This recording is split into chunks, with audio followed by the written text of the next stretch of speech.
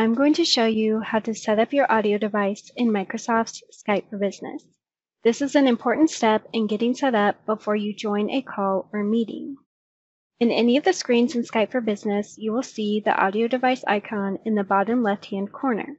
I'm looking at my contacts list now, and you can see it right here. But if I click on any other screen, the chat room or conversation history tabs, for instance, you can see that the audio device icon is always visible right down here. I'm going to go back to my contacts list. If I click on the audio device icon, Skype will show me a list of audio devices that are ready and able to be used. Then I can just click on the one that I want to use. If you don't see the device you're looking for, just plug it in and install it, and Skype for Business will automatically detect the device.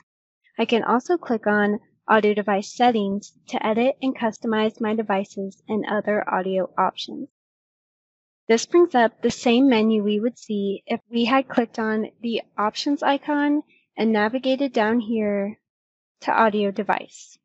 Here, we also have the option to choose which device Skype will use through this dropdown.